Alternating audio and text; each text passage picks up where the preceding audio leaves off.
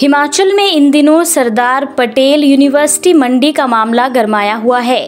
भाजपा सुक्खू सरकार पर यूनिवर्सिटी को बंद करने का आरोप लगा रही है। वहीं मुख्यमंत्री सुखविंदर सिंह सुक्खू ने मामले को लेकर पूर्व भाजपा सरकार को ही लपेटे में ले लिया है। शिमला में मीडिया से बातचीत में मुख्यमंत्री सुखविंदर सिंह सुक्खू ने कहा कि पूर्व की भाजपा सरकार ने जिस तरह स्कूल खोले जहाँ बच्चे नहीं हैं और टीचर नहीं हैं उसी तरह इन्होंने यूनिवर्सिटी भी खोल दी। क्या बोले मुख्यमंत्री? सुनिए विस्तार से।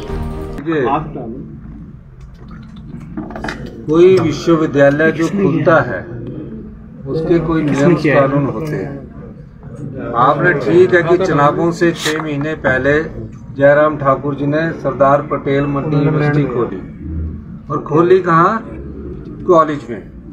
और उसके साथ कॉलेज को एफिलेट कर दिया। जिस तरह स्कूल खोले ना उसमें टीचर नहीं है बच्चे नहीं है उसी तरह इन्होंने यूनिवर्सिटी भी खोल दी। अब यूनिवर्सिटी में जितने बच्चों के पेपर होने हैं उसका इंफ्रास्ट्रक्चर नहीं है। क्वालिटी एजुकेशन की तरफ़ बैठने की व्यवस्था नहीं है। आप मुझे यूनिवर्सिटी का कोई ढांचा तो बता दीजिए कहाँ उनकी बिल्डिंग बनी है।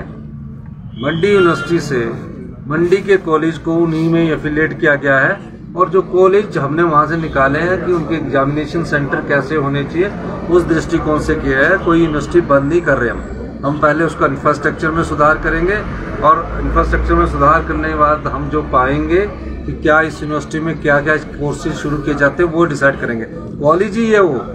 यूनिवर्सिटी नहीं है अभी। उसको नाम दे दिया क्योंकि चुनाव लड़ना चाहते थे और चुनाव में फ़ायदा उठाना चाहते थे। हम जो भी काम कर रहे हैं, हम ये देख के काम नहीं कर रहे कि हमने चुनावों में लड़ना चुनाव चुनाव लड़ना है। हमने अब अगर राहत पहुंचाई है तो ये देख कर राहत पहुंचाइए कि आम आदमी के घर तक हमारी सरकार पहुँचे।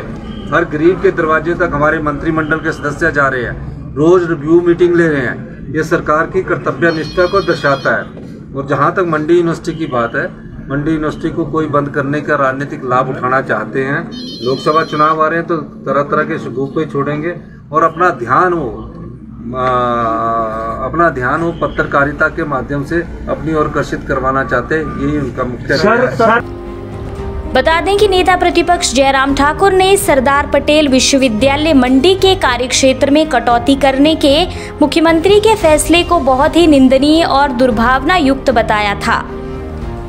उन्होंने कहा था कि सरकार एक विश्वविद्यालय और नहीं खोल सकती है, इसलिए पूर्व सरकार द्वारा खोले गए विश्वविद्यालय को बंद करने की साजिश कर रही है। सुखू सरकार एसपीयू मंडी के साथ सौतेला व्यवहार कर रही है। जयराम ठाकुर ने कहा कि एसपीयू के कार्यक्षेत्र से जिला चंबा, कांगड़ा के साथ साथ आनी और निर्मंड के कॉलेजों को बाहर करना मंडी विश्वविद्यालय के साथ उन जिलों के छात्रों के साथ भी धोखा है जो उसमें पढ़ाई कर रहे थे।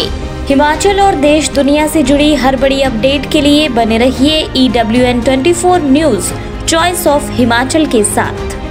हिमाचल और देश दुनिया से जुड़ी हर बड़ी अपडेट के लिए बने रहिए E W N twenty four news choice of Himachal के साथ।